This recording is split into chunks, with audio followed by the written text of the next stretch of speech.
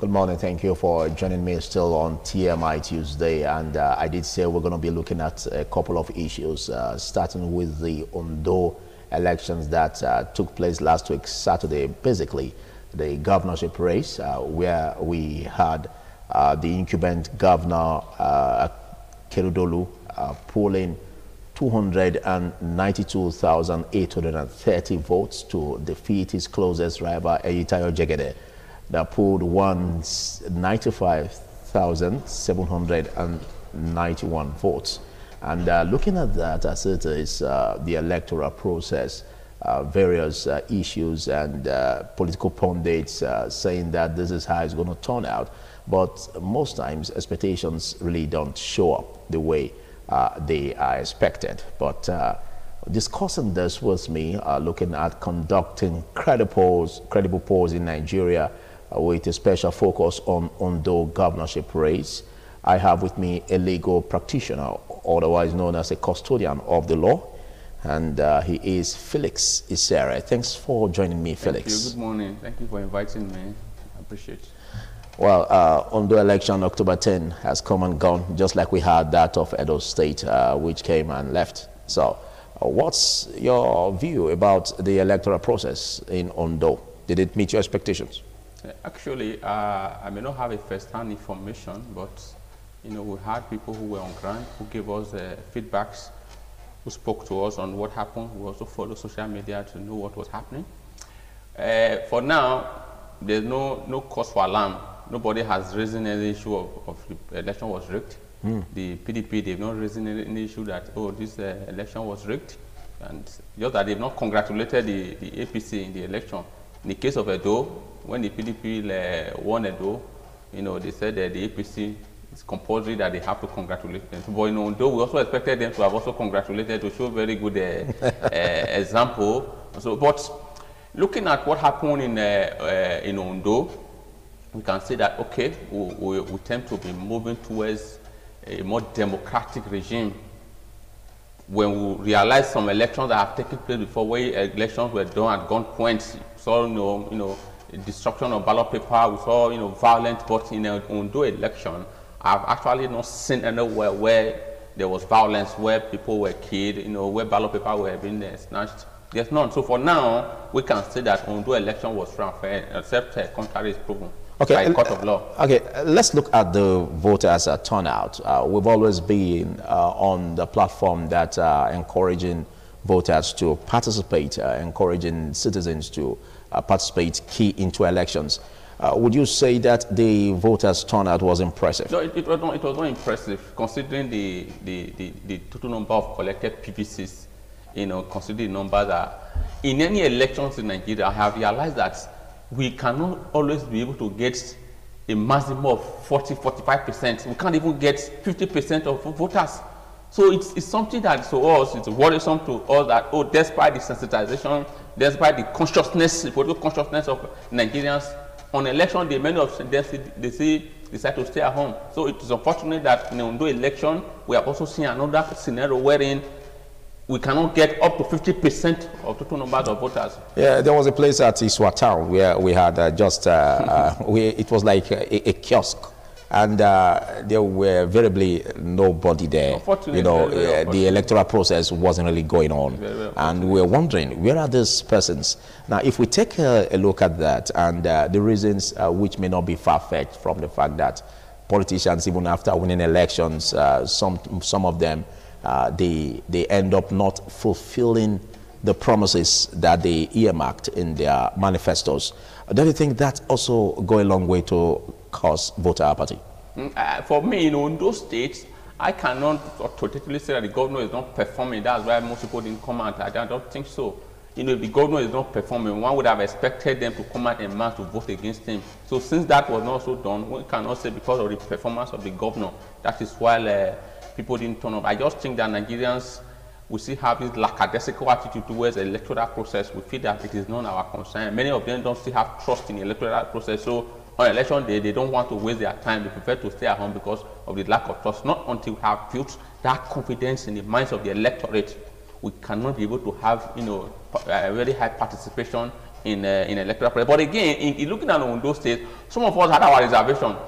We had our fears. We thought that, oh, APC was going to lose uh, uh, Ondo State. Looking at the history of everything that had, the incidents that happened that led to the defection of the deputy governor, you know, the resignation of the SSG, you know, people leaving the party, leaving the, the government. We thought that, oh, but thank God that there was a man who had, who was a leader in the Southwest, you know, Asiwaju Tinubu, who was able to go into Ondo State to ensure that he he settled the dispute then, he reconciled the warring factions then at the end, they all came together to work. That is to show that APC as a party, if they are able to put their house in order, if they are able to work together as one, they are always guarantee of victory. Okay, what did you think played out in the electoral process? Was it uh, as a result of an external factor? I, I, do not. I do not think because so. you made mention of. Uh, I do not. I do, I, do, I do, not think so. But all I can say that we can draw a dichotomy between Edo election and Ondo election. Okay. You know, if if Edo election had gotten the support that Ondo got, they got, we, we would have also APC would have also won the election. We realize that in Ondo, you know, both those party members in the presidency, the party members in other states, the governors, many of them, they rally around the, the, the, the, party in those states. But in, in, those states, we fought a good fight. We worked our but unfortunately... Okay, okay, let's look at the ownership of uh, uh, the electoral process. Now, it's expected that in any given polity, uh, when there is an election, uh, the people basically, they determine who uh, takes the number one seat or the public office. Now, uh, what played out there, does it mean the uh, expectations that the people took ownership of the election? It's not a case of people taking ownership of, of in any election, there are always indices of victory. There are always indices of winning. Sometimes, most times, you realize that the critical stakeholders influence where the people go to. If, for example, now the deputy governor who, at the camp campaign went to PDP, when he didn't get the ticket, he went to ZLP if he had remained in PDP and joined forces with the, the PDP candidates, maybe there would have been a shocker. that would have been so a, it's, a big one to pull. Yes, it's all about stakeholdership. Okay. You also realize that the three candidates from the, uh, the PDP, APC, and ZLP, they were from the different senatorial districts. So if, for example, they had given maybe the deputy governor had gotten the ticket and maybe Jegede had become uh, a deputy uh, candidate or reversed the case, maybe they been able to play. But if you look at that, the fact that he was able to split the vote of PDP, and that gave APC the very big uh, opportunity to get victory. Okay, uh, let's look at the uh, political parties. Now, we have about 17 political parties on the ballot in Ondo State. And we now have a situation where even though there are several parties on the ballot, uh, we begin to see like two horse race, uh, three horse race, like in Edo, which are two yeah. horse race kind of impression because of the PDP and the APC that dominated uh, the uh, uh, electoral process. In Ondo State, we had the APC, the PDP, and the ZLP. Now, a lot of persons are saying, political pundits are saying that it seems the multi-party system that we operate in Nigeria isn't feasible. Would you for me, concur? For me, I have, I have been an advocate of a two-party state when you have a two-party state, you tend to have a very vibrant opposition. Really? But when you have a multi-party state, what you are going to see a bunch of, many of them, 90% a bunch of jokers, you know, bunch of opportunists who are waiting to be given money to step down, or waiting to work, giving money to work against their party. But when you have a vibrant opposition that is very, very strong, you realize that we are, we are building democracy, we are building a vibrant opposition that will be able to not just aggregate but also to, to project the interest of the people. So in Nigeria today, the two-party system, it's what we need to have a vibrant opposition, not the multi-party system. Thank God to INEC that they were able to at least you know, deregister many of these parties. Where you go to ballot paper, you see 50% contesting. And out of those 50 of them, some of them cannot even win their own, their own uh, polling units. So it's unfortunate that it, it, it also reduced the cost of election. If you are only printing for only two candidates, three candidates, it's better than having so much uh, uh, carrying a ball at the end. Only two of them are actually serious also. Okay, uh, let's look at the uh, security personnel uh, deployed to Ondo State. Uh, some are saying that in an electoral process, in a democratic setting as this, uh, we shouldn't militarize electoral process. We shouldn't have too much of security personnel policing or trying to calm the electoral process because it, it will give an impression that uh, the people uh, could be intimidated by the security personnel. We had 33,783 uh, personnel, as the IGP did state, and also about 3,500 from sister agencies. And then we had the military personnel uh, at positioned at the state borders. Do you think this is too much of security? Well, this is not just about an Ondo election. It's one of the about elections in Nigeria. When there are standalone elections like this, there are possibility of oh, police uh, deployment to be very high. You know, in a those states, it was, it was okay. Before, before I used to advocate that we don't need it. You know, it's not necessary in a democratic process. All you just need are mobile police who are not holding arms. You don't need the, the, the, the military to be a part of it. But over the time, I have been able to change my perception. Okay. I have been able to change my view because when I see what happened on election day, sometimes you need the military to help you bring sanity. It's not that they will be at the polling unit. No, they shouldn't be there. At least some distance from the from the from very volatile area when you know that oh some hoodlums can come and attack. Or at state borders. Yes, when you realize that on election day you have a mobile police officer who is just some of them don't have gun. So when people come into the polling unit to stand ballot paper, they are helpless. They can't do anything. Yeah. But when you have this military officer stationed in some strategic area, they will be able to you know intercept them anywhere. So for now, I think that it is okay, provided they are not being used to truncate democracy, provided they are not being used to sabotage the will of the people. If they conduct their affairs, their affair in a, in a, in a transparent manner, in a professional manner, if they are more concerned about the democratic process rather than their individual interest, I think I don't have any problem with it. Okay, uh, there's, there's this uh, negative uh, factor that keeps interrupting, interfering into our political space in the electoral process, uh, interfered into uh, Edo politics, also interfered into Ondo politics, uh, as allegations have it. Vote buying. I actually we- watched. how do actually do we watched- find a way around it? I watched one of the video where some of the some young girls were celebrating the fact that oh they collected money to to vote. You see, we have. I think I think the the the, the aspect of electoral manipulation is changing. People Okay. no longer steal ballot paper. People no longer you know destroy ballot paper. What they now do is to use money to buy to buy votes. But again, I also think that Nigerians are now also getting smarter. Okay. Some of them collect this money and they vote for their choice. You cannot be able to win an election by vote buying if you do not have the connivance of security agencies and the stakeholders. Because when you collect money, like one of the states where I watched was that when the person who has collected money was voting, he has to show the ballot paper to the police. And the police now notify the party member that, oh, this person voted for your party. You can give this person uh, uh, the money. So it's not always easy to win an election through vote buying if there is no cooperation of security agencies Hmm, okay. uh, because they always they always know those who are sharing money and they will drive them away from the the, the, the, the police sector and they will arrest some of them if you see even in ondo state for example there were efcc officials who were in strategic area trying to arrest those who were uh, sharing money and who were buying votes Okay. This, this uh, character came into, uh, crept into our electoral process. Uh, What reforms are you looking at uh, going forward on how to tackle it? we, we, we have, it's not just about vote buying, there are plethora of problems in our electoral system.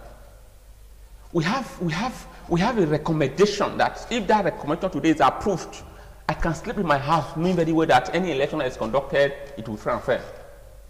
Today, it seems that we have forgotten the Uwais reports of reforming our electoral process. So the only way to reform our electoral process for us to have a free, fair, transparent election is for us to go back to that report, to appeal to the president, to appeal to the legislature to that these reports they become part of the electoral act. If they are part of the electoral act, we can be able to post that oh, in any election that is coming, Okay. we can have a free and fair election. Are you talking about the 2010 uh, Very electoral well, amendment very bill? well, very Okay. well, very well. It, it, it is a compendium of how to have a credible elections in Nigeria. If you look at the steps, some of them that have been uh, that have been incorporated into our electoral act, they have actually helped us a lot. So if we are able to re- approve those recommendations, we are. But because of the fact that those of them who are in power, because those of them who are in power, they are scared that if it is approved, it may not They'll be be for their- disadvantaged. yes, it not be for their interest. For example, the appointment of the INEC chairman. In that report, it was stated that the NJC should be the one that will recommend the INEC chairman. Okay. So you understand that the president who is sitting would not want such uh, power to be taken away from him, Okay. knowing very well that he's very detrimental to uh, other elections. Thank you. In case you're just joining us, it's TMI Tuesday, and I've been having a very, very beautiful uh, discussion with uh, Felix Isere, a legal practitioner, uh, keen into Ondo uh, governorship race that uh, took place in Ondo State on Saturday last week. And don't forget that uh, I'm your host, Philip Omo Gyupo. We're taking a break, and after this break, we're standing frontiers on the discussion. Stay with me. TMI, every opinion counts. Thank you for staying with me on TMI Tuesday. Uh, while we had a break, we had the opportunity to be joined by uh, an articulate uh, public affairs analyst, and he's known as but on Nomroba Salvation. Thanks for coming on Nomroba. Good morning, Philip. Good morning, viewers. I, I know you had a hectic time uh, getting through all the traffic. The old of, thank God we're here. Thank you very much. Okay, a retrospect uh, to what transpired on Saturday in Ondo State uh, concerning the governorship race. Uh, what is your bite in terms of how the electoral process went? Did it meet your expectation? Yes, yes. I, I think um, um, the voice of the people is becoming clearer. I think um, eh, if there's anything I'm going to praise the administration of Muhammad Buhari, of our president, is that in his administration, the people seem to be heard in various ways. So I think um, the people, it, it's becoming clear. We are, we, are, we are having elections now where opponents may not need to go to court anymore. We are beginning to have elections where you are won and it's clear. There is nothing as in you know that somebody cannot just rig election and be rigging with over 900,000 votes, 90,000 votes over you and all that. So Exceeding the number of uh, uh, uh, registrants in the uh, register. And uh, even even at that, there is an extent to which winning becomes clear. Okay. That um, w- there is a way you can rig. There are things that can be rigged, but there are things that are very clear. You, like if you use the Edo State election, for example, you see the opponent is not going to court. There's, there is a way you are won. You understand that fine. If a man wants to rig, is he going to rig with over ninety thousand votes? There are there are things, but it's becoming clear. And one of the things that the people are saying, if you hear the voice of people, is sounding like the voice of people are saying that now winning election is becoming a reward for hard work. Okay. The people are trying to tell government that work for us and we reward you with a second tenure. You don't just come and buy votes. You don't just come and. There may be certain discrepancies, but it was clear. It's clear that um, uh, the people's voice. I, I heard the voice of the people in Ondo State. Even before the election, you could hear the people when you listen to the people. It was clear. We knew where it was dancing to. And there's another thing that we are noticing in our electoral processes. You, it's, it's happening in Edo State. It's happening in Ondo State. The people are no longer voting for political parties.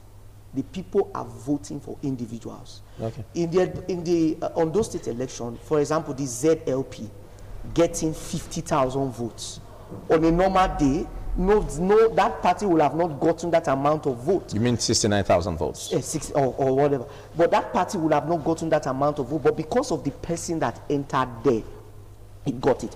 If you come to a Edo State, you will have known that the people didn't really vote for PDP. Neither did the people vote for APC. The people voted for Godwin Obaseki. So it's now telling every politician. I think when the voice of people is heard like this, politicians have to sit up because they now know that you cannot hide under the umbrella of a party people look at you. What have you done? What can you offer us? So in the ondo state election yes i think the voice of the people was heard and i think inec to a great extent i would say the elections conducted this year within this short period of time are better. Although it's not best but compared to where we are coming from uh, it's better than where we are coming from. I think we are making progress gradually, and I think if we build on what we are having, uh, within I think 2023 looks good. Okay. If we can build on what we are gradually going. Okay, what's your impression about vote buying in the Ondo electoral process? vote buying is always there. There's always vote buying, but um, the people are becoming more enlightened. You know, like what happened in Edo State is happening Ondo State. Vote buying, you spend your money, but the people still vote their conscience. You can never stop vote buying, but you see the people, you give me money, I take your money, and I still vote who I want to vote for because you don't follow me to the booths. You pay me outside there, I come and tell you I voted for your person. So we cannot stop vote buying completely. People will always want to do that. But what the people are doing, trust me, Philip, in the next two elections that were coming, politicians will understand that it's a waste of money to give to the people. Because these people, they will eat your money, they will vote their conscience. So the only set of persons that can really control vote buying, uh, the security agents are there, they are trying their best. Then the people are the ones that, we are the ones controlling vote buying now.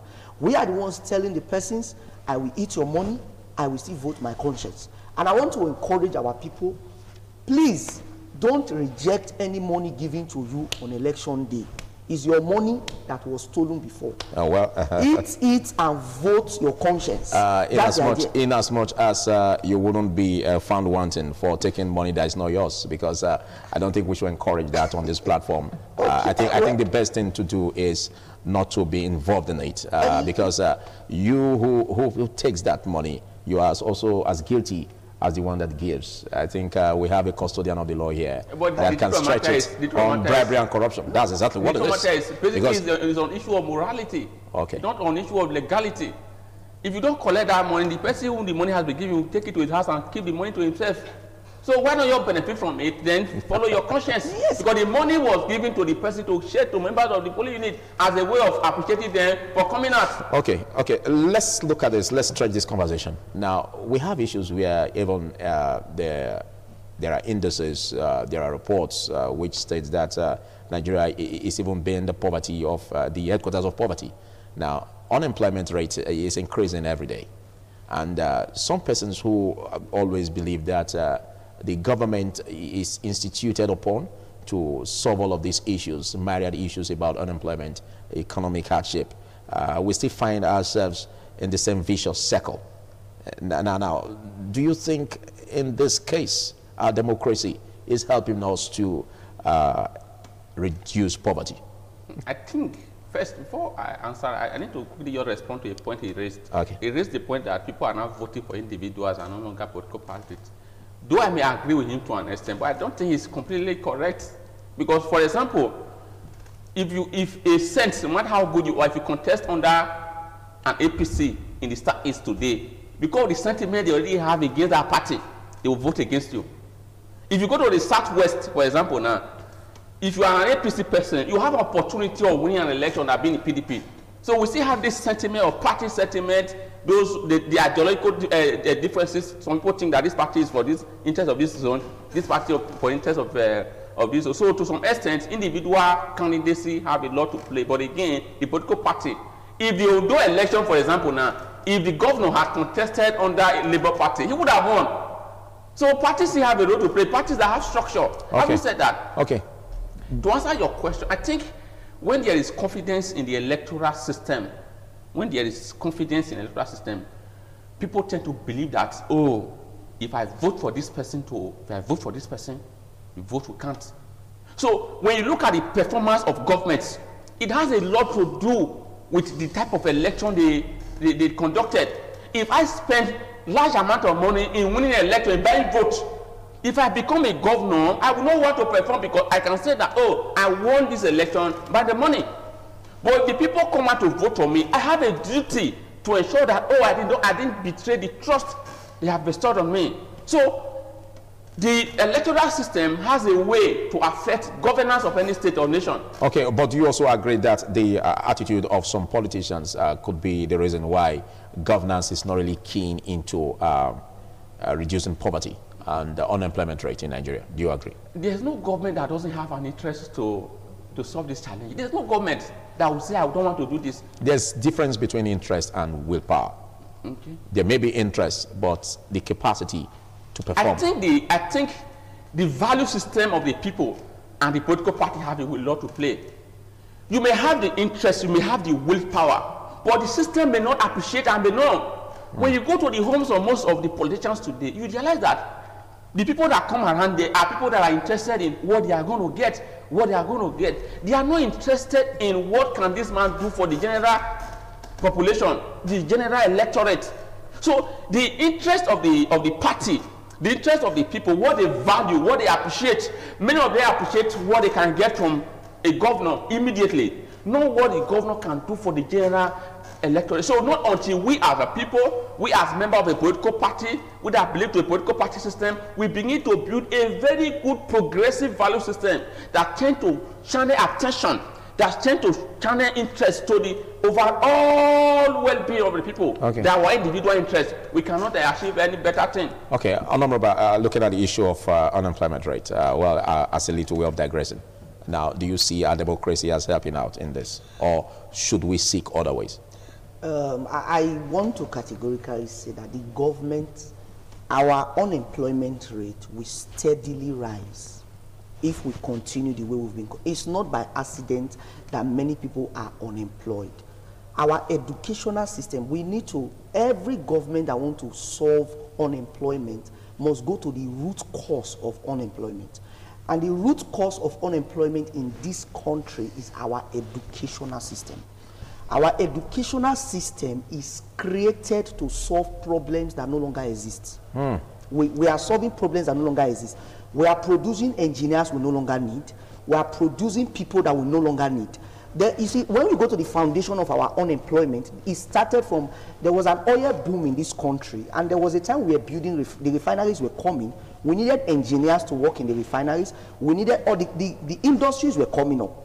But what failed in our educational system? So we created an educational system to meet that need at that time. Okay. Over 30 years ago, that need has been met. The industries now have the engineers. the, the, the, the people that need to be employed. Now, we still have an edu- If you watch out, when a graduate come out of our system, is handicapped until he's employed somewhere.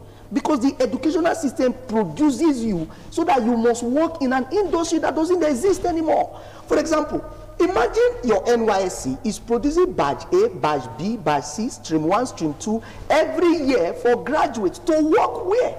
The ones that are on grant have not been employed and you are adding to them badge A, badge B. This year now over 1 million people are going to take JAMB. Uniben is going to take thousands.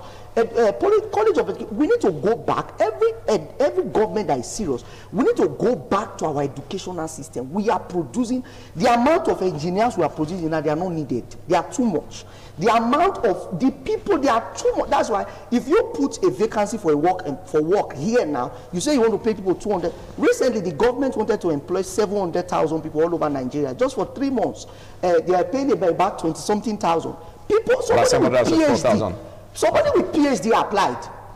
People with masters applied. Why? Because the certificate is no longer. So we need to go back to our system. What we, what I suggest for government is this: we need educational system that teach people current problem. Let people go to school and learn how to repair phone. Let them come out as graduates. Let people go to school and come out as let's recent problem. The problems that our educational system is solving, they are no longer existing. And this should be captured in manifestos of eh, eh, political it- parties. so we should- Let's see what they want to bring on board in order so in to change the narrative. So in the democracy that we're talking about, the new government, are like our governor, basically the ones they are cradle, the people that are willing, they should come up. We need new ideas that bring up the people. What we need now is a graduate that is coming out. If he doesn't get a job, he should be dependent. Our education, we need to go back to our curriculum. You can't use what you used to teach, what you used to graduate, what you used to teach people 40 years ago. You are still teaching them now. The world has left it. So the party structure, the, the uh, government structure, we should go back. I think so. It's not just crying for employment, employment. No, no, no, no, no. It's providing the environment, providing the educational system that brings out the right result. I think that's Okay, where we but- can but- enjoy our what do you think about political corruption, Felix Isere? Uh, do, you- do, you, do, you, do you see political corruption as another issue that challenges uh, government to perform optimally? we, we, we, we, we already know as Nigerians that the greatest bane of our development is corruption. Okay. We don't need to over expatiate this. We don't need to over espouse this for us to be able to articulate a point. Okay. It is very simple. If we are able to solve the problem of corruption in our political system, it's not just a political type of corruption. Economic corruption, there are different levels of corruption. You know, one thing I appreciate about Nigerians is that when they have the collective way to agitate for something, they get it. The EndSARS protest that is currently on has further proven that Nigerians are strong, they are bold, and they can be united to have and achieve their aim. I have always said that we have been protesting against SARS. Why can't we also lead a protest against end corruption in Nigeria? Let us do this because when we do A this, peace- a peaceful able- protest. Yes, peaceful protest. If we're able to solve the problem of corruption, which is our greatest problem, the SARS today is a product of the corruption that they are having. The SARS today we are having, the reason why many persons are against them because there's an allegation of corruption. So if we're able to solve the issue of corruption, I think that we are able to solve 50% problem of Nigeria. Okay, but a, a lot of uh, kudos, uh, comments, uh, laudable remarks have been made on the uh, presidency over his uh, ability not to interfere in the electoral process and how he uh, gave uh, kudos to whichever party that wins election. Do you think that's a starting point? You know, I like, you know why I like politicians? They are very dynamic set of people. They know how to. The same people who, who, who, who, who lambasted the president in the case of Osun election, in the case of Kano election, in the state of Kogi election, were the same people who celebrated the president in the case of Edo election because he favored them. The same people who, who said that APC needs to congratulate the candidate of the PDP in Edo State because the election was so fair that the person is a bitter loser, that the person is a vindictive loser, that the person does not is a greedy person, is desperate. Well, the same person yesterday who released a press statement saying that the uh, uh, PDP in uh, Edo State cannot congratulate the governor. So I don't think that the, the, the issue of the president being in support of being in support of that is not. When they win, they believe that there's democracy. When they don't win, they believe that there's no democracy. That is the issue of our party system. So it's not until we now have confidence in the electoral system that we believe that you don't need the support of the president to win an election. You don't need the support of any godfather or of any stakeholder to win an election. You need the support of the people to win an election. Okay, could You you, cannot take away this could you say could you say the uh, Edo and Ondo election mimics what you just said? Yes, very well. For example, I've already given an, an, an analogy. Okay. In the case of Edo, when, when PDP won, they expected the, the APC to congratulate. Yeah, and when you, the you- APC you said that. You said that. You said that. You said Yes. that. So that- I'm, I'm just uh, in the aspect of uh, the people taking ownership and uh, without undue influence from the federal government to interfere into the electoral process. Did you see that play out like uh, you did? Uh, Uh, I, I saw that more around um, Edo State. Okay. The reason why it's proven it proved itself more around Edo State because the, the party that won was not the party of the president, and we know that the police that came here and all that, the presidency had all the possibility. Like I said, I praise. I you know we need to commend our president. That was for- courageous. Yes, yes, Okay. that he, he was even able to accept uh, the, the opposite the opposition party that is a PDP. The governor even went to greet him in the office and all that, and it, it was a lot of sportsmanship from him. So uh, for me, I don't read Nigeria from the statement of politicians. I read Nigerian from the statement of Nigerians. A politician always speaks because of personal interest. When whatever I have learned that whatever a politician is doing, there is personal interest attached to it. But I listen to the people.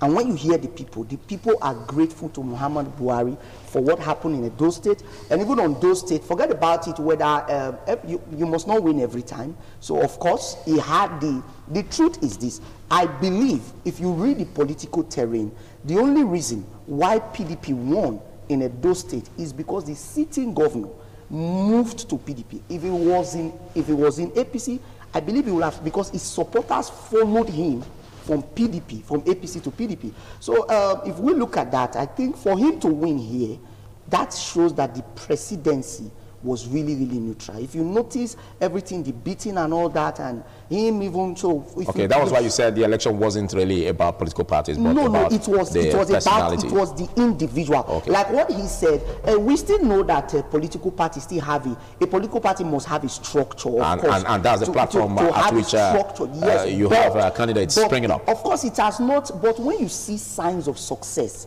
it's coming up. It's not really all over the country, but it's proving gradually Okay. that if you if you are able to convince the people and you have the right platform no matter what the pla- if, there are many political parties that cannot win election Okay. not because the people hate them but because you know you have to have structures you have to have party men you have to have what it takes so as at now i think the, the major parties that have such structures to win those elections are the apc the pdp and probably maybe APGA and a little of other parties so Okay, thank you. the other parties if they want to be able to have a new name a good man win election they should build structures Thank you. It's it, it's, it's been uh, conducting credible election and uh, the uh, Ondo experience, but uh, in as much as we spoke about the Ondo state experience, uh, there was this uh, resemblance uh, of uh, the electoral process that transpired again in Edo state hands. Uh, we also featured uh, in some of the discussion Edo election.